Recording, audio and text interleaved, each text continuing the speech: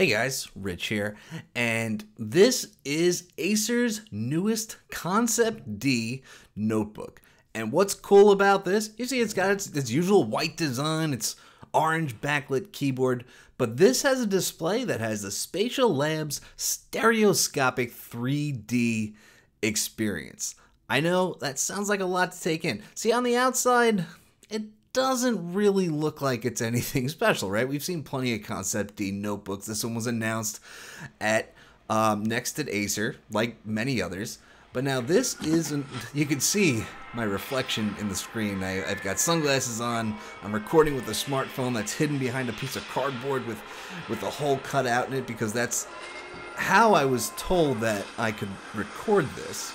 Um, it's not as simple as it sounds because so this is this is Unreal Engine and so you can see the perspective moving around a little bit. And what's happening here, it's actually tracking your eyeballs and it's tracking your head. So that, that's why I had to wear sunglasses so it wasn't looking at my actual eyes, it was looking at the hole in the cardboard.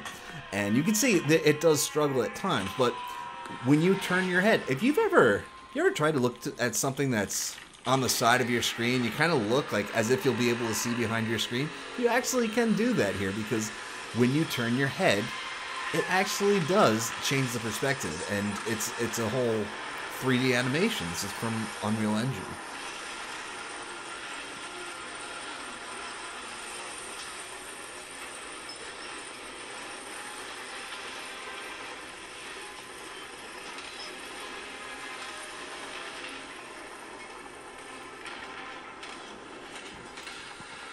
So that is probably my favorite of the demos that we're about to see. This one isn't quite as sexy, but it's a little bit more practical for what this is trying to be, right? This is 3D modeling. This is the 3D model viewer, uh, the SpatialLabs viewer, and that's just a space capsule. And we can see that we can change the material we can change we're going to change the background in a little bit and there's there's stuff like that going on.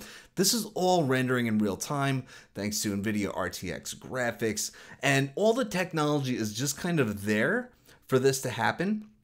So it's really cool. Like i said it's rendering in real time and it's based on your like i said your eyeballs. If you move further away you're going to see that it takes a little while to adjust and that's why you're going to see since since the camera is behind a piece of cardboard, you're going to see that there are times that the, the camera is not adjusting quite properly because if you move your head back, it has to adjust based on the space that it sees between your eyes because it's creating depth. And so it's creating those two images that your brain's kind of processing as one and now we're gonna move on to a video. This one is on YouTube and it's actually really cool. So you'll see, I clicked a little button, it's called SpatialLabs Go. And that's just an app that will turn the display into the 3D stereoscopic. So it has a stereoscopic layer bonded to the screen. And you can turn it on anytime you want through that SpatialLabs Go application. It's easy enough, but you kind of need content that's gonna work. So you'll notice that video that I pulled up. This is an LG video. It's made for uh, 3D smart TVs. And that video has two different um, two different pictures. So now it's just combining those two different pictures into uh, creating a 3D video. And you see it just, it really does just look phenomenal. And you even know that you're not getting the full experience just by, by watching the video that I recorded.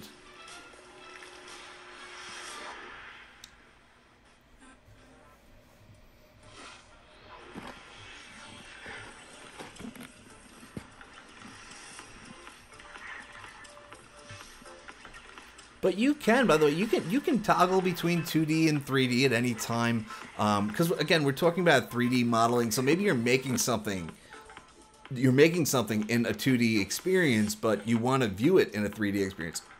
I did save the video demos for the end because it's not so much the practical use for this product.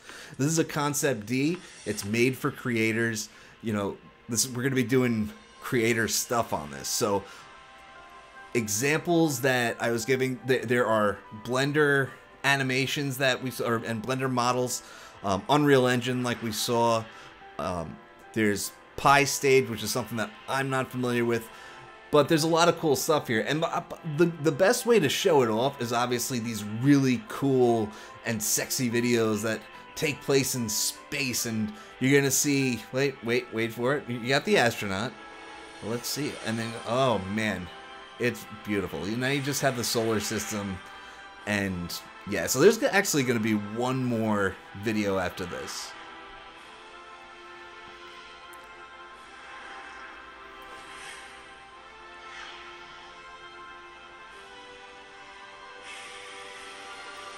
There's there's the baseballs, which is my favorite I'm a baseball fan. The other part of it is the stereoscopic 3D display. You have an optical lens that's bonded to the top of the top of the screen, um, so images for each eye are created. I'm, I'm reading this now, and the, the, eye movement is tracked. The image set will be projected through the lens, then ref refracted to where the eyes are. So it's a it's a really cool technology. And again, this is coming to ConceptD. So um, right now, this is a prototype that I got to check out, and so people aren't going to be able to buy this until at least later on this year. And there's the broken bat. This is my out of out of all the demos, that's that's my favorite one part, just that broken bat. And we're gonna end on sliding through the dirt here, and um, yeah, so you can just see all the cool stuff that you can do with the, the SpatialLabs, the stereoscopic 3D. It's a really cool product. I had a lot of fun uh, testing this thing out.